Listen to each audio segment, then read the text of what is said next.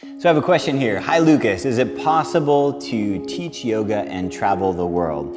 It's you're asking the right person because that's actually how I got into yoga teaching. I wanted to see the world, I wanted to travel, but I needed a way to make that happen financially.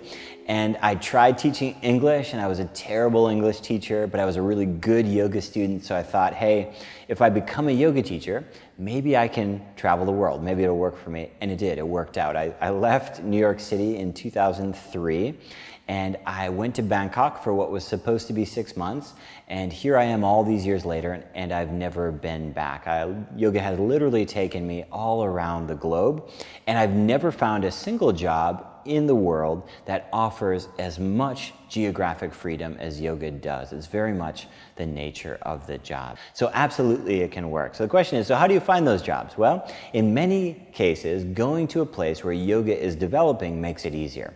When I went to Bangkok in 2003, there were only about 10 or 15 yoga teachers in the entire city. So it made it very easy to get jobs and get work visa and get the ability to stay in the country and all these kinds of things.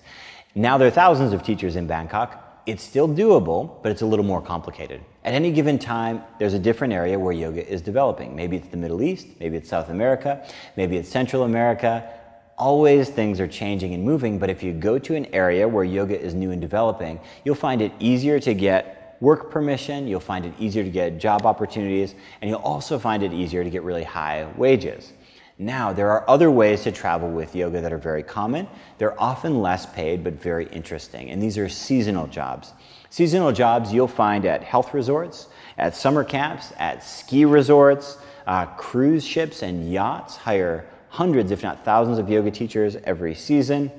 You'll find them at destinations that are affected by the weather. So if there's uh, surf towns, climbing towns, all of them have seasonal yoga jobs.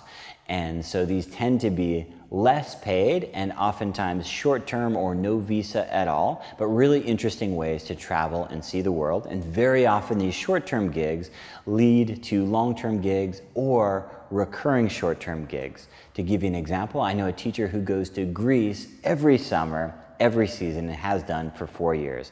I know loads of teachers who spend the season in the Thai islands or in Bali every year again and again at the same resorts. Here in the Mediterranean, I know a number of teachers who spend time in Ibiza or Formentera, again, doing the exact same thing. So it's absolutely doable. So the next question that immediately comes up, people say, okay, so I know there's jobs in the Middle East. I know there's jobs in South America. I know there's seasonal jobs in Ibiza, or I know there's jobs in Bali, but how do I get those jobs? And that's a good question to answer. Like any job, a yoga teaching job is based on your ability, your experience, and your professionalism, right?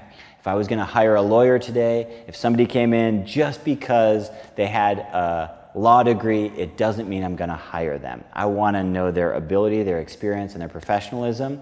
And this is where most yoga teachers fall short on all three. First of all, most yoga teachers, even certified yoga teachers, don't know how to teach. They don't have real world experience. They can't sequence a class. They can't structure a class for 60, 75, or 90 minutes. They don't have a workshop structure that's plug and play and ready to go. Because of this, it makes them very difficult to market locally. And if they're trying to market themselves internationally, it's just a disaster. So, first and foremost, having good solid training that gives you real world experience. All of our trainings, for example, actually work and teach in our studios is a really big difference.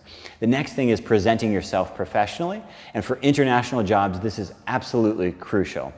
What I mean by this is let's say you're trying to work in Dubai, or you're trying to work in Bali, or you're trying to get a job in Singapore or Jakarta or whatever it is. You need to send more than just a resume or a CV. Your resume or CV needs to look great, but you also need to send a video and you need to send photos, and that's why we do that with all of our trainees here at the Yoga Teachers College. We help you to tell your story, we help you to present exactly what it is you have to offer as a teacher, and because of that, every single time you apply for a job, you will go in the A list. If 100 people apply, you will be in the top five being considered simply because you look the part, you act the part, and you have the credentials to back it up. So when they dig deeper into your resume, their CV, they call your references, they call us, it's very clear that you are who you say you are and you're ready to teach professionally.